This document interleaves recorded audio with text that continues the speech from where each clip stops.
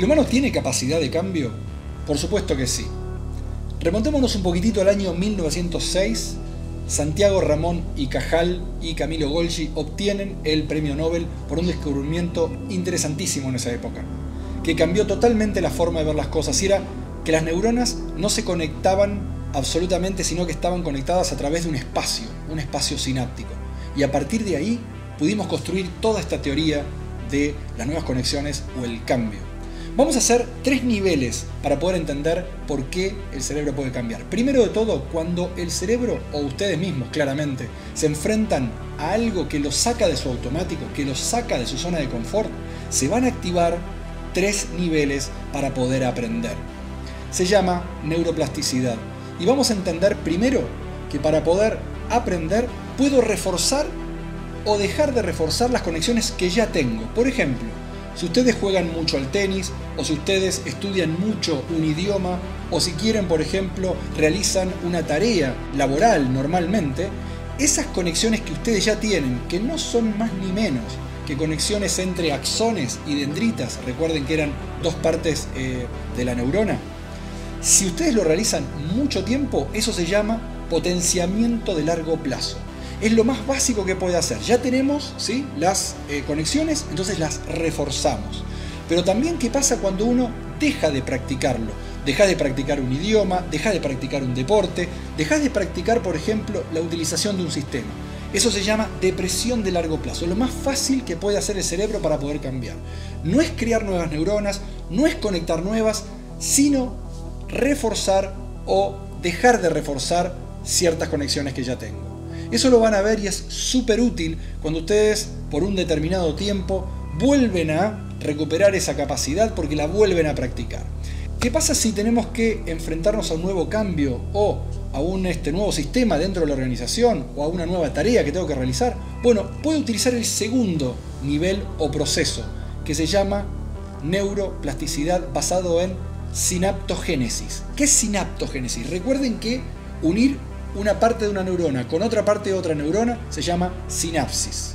Ese espacio, ¿sí? Se pueden crear nuevas conexiones y para eso necesitamos más proteínas, muchísimo más gasto celular, evidentemente. Y nos vamos a dar cuenta que estamos creando algo de esta sinaptogénesis porque nos cuesta, porque nos cansamos un poco, porque tenemos que repetir, porque tenemos que volver a pronunciar, por ejemplo, si estamos estudiando algún idioma.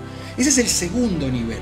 Recuerden, el primero era o consolidar o reforzar, ¿sí? O deprimir cierto tipo de conexiones. Este nivel, el nivel 2, es crear nuevas conexiones. Y es por eso que se llama sinaptogénesis. Génesis es creación.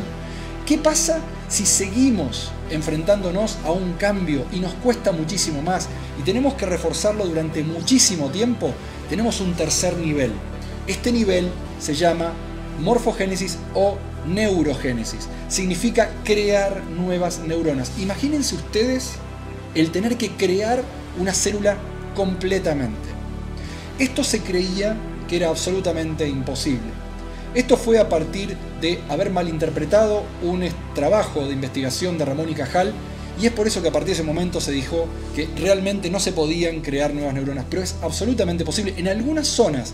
Y hay un trabajo muy interesante realizado en algunas poblaciones, por ejemplo, vamos a dejar un video que tiene que ver con lo que se llama The Knowledge o el conocimiento, un estudio, una investigación que se hizo en los taxistas de Londres, donde por la cantidad de tiempo que tienen que estudiar para poder aprobar ese examen, casi 4 o 5 años estudiando las calles de Londres absolutamente de memoria, se pudo aislar a ese colectivo e investigarlo.